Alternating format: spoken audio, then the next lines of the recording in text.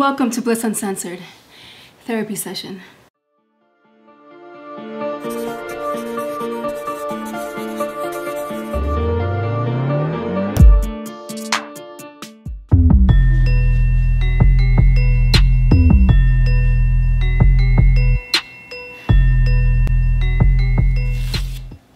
I was young. It was elementary. I actually remember the school's name too, Bird. Bird Elementary School. I went to class and it's crazy how your memory can remember certain things. You, you don't remember everything, but there's certain things that will that you will always remember. Doesn't matter how old you are. I was sitting at my desk.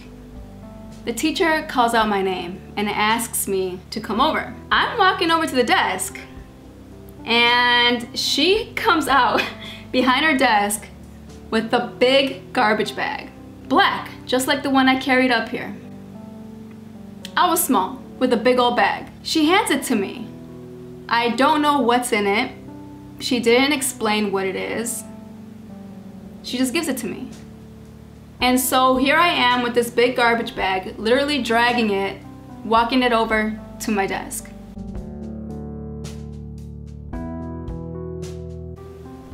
I took it home that day. I came home and when I opened it, it was clothes. It was a garbage bag full of clothes. That's the day that I realized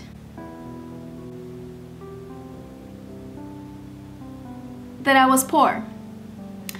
Now, I only use that word so that people can understand the situation we were not poor. We were a low income family. We had electricity, we had shelter, we had clothes in our bag, we had food to eat.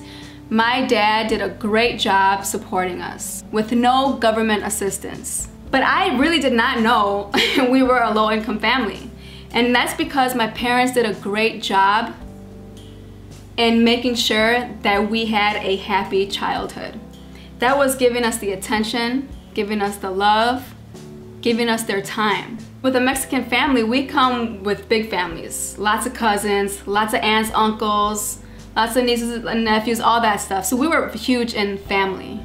So when you have that family background, you really don't look at money and what you have. But that was a day that I realized that, damn, we don't really have much. And then I started looking at everything else and realized when Christmas came, we would get donations. Toys, they were all donated. Bikes, they were all donated. Clothes, all donated. We got food from the church pantry. So everything was basically hand-me-downs. Trust me, there's nothing against that. It's good to help people that are in need. It made me it made me the person that I am today in a negative way and in a positive way. It changed me positively because I look at others that need help and it makes me want to help them. Interesting enough, it also changed me negatively to the point where I'm so independent. I don't rely on others. Everything that I have gotten to this day, I did on my own. But because of what happened that day, I felt that people were helping because they felt bad. They felt sympathy. They felt sorry for our situation. And I didn't like that feeling. It made me feel like I had less than. And that's something that I did not uh, really appreciate. It made me feel like I wasn't enough or I didn't have enough. And my family, my parents did the best that they can. And let me tell you, I lived a happy childhood. I'm telling you right now, the best years of my life was my childhood. But because of that, I never want anyone's help, even when I need it. Even when I need it, I figure it out on my own. When I'm struggling, I ain't gonna ask nobody for help. I've slept in my car many, many times, multiple times. I've gone from room to room to room in people's houses or sleeping on the couch. I didn't care. I will pay the rent, I will do what I gotta do, whatever, but I never asked for help and rare occasions. There's been like maybe, I would say, my adulthood, I would say maybe three or four times I've asked for help. and that's usually from my parents. And don't worry, I got them too, okay? But the trailer park that we lived in was very small. It's different now. They actually have pavement, where before it was nothing but dirt and gravel. we lived in the first trailer and we actually had to move out because it was roach infested, mice infested.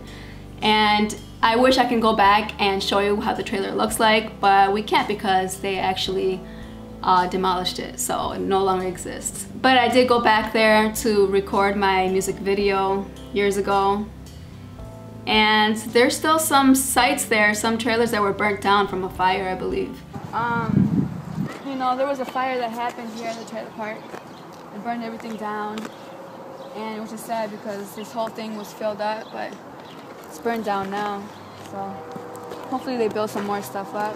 So I've lived here in this area. I've lived in this area where there's not much money growing up like that, where I had to get gifts, Christmas gifts from teachers and clothes from teachers from school, you know, because my parents couldn't afford it. And then so if I ever make it with when I get lots and lots of money, I'm always gonna remember this place, so I'm always gonna remain humble. So remember me, I'm Bliss. Check out my music, y'all. That I got that mic so soaking wet. Spitting and ripping my rhyme so sick. Reminiscing when they said I want them out to shit. I'm out to shit. First in the block to leave this bitch. Now they wanna hate cause I don't take them with. Bliss on the rise, I'm too legit. First on the block. The first on the block. The first on the block. On the block. On the block. On the block. The first on the block. And that's something that, that made me and like I said in a good and a positive way. So I'm still forever grateful for those who wanted to help my family. I know my parents appreciated it so much. And I do too. I want to put that out there. I really appreciate it because I would have not had those roller skates.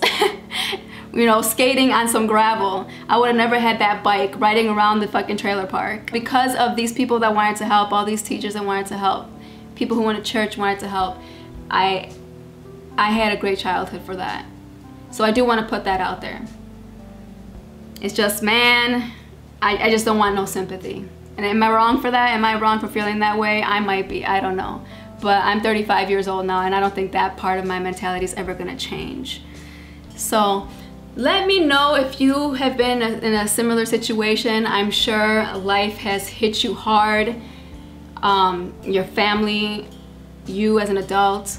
But let me know, comment below and let me know how it impacted you in your life and how did it make you become the person that you are today. Alright you guys, make sure you like, comment, share, and subscribe and please hit that bell so you can get notified every time I upload. See you in the next video. Peace.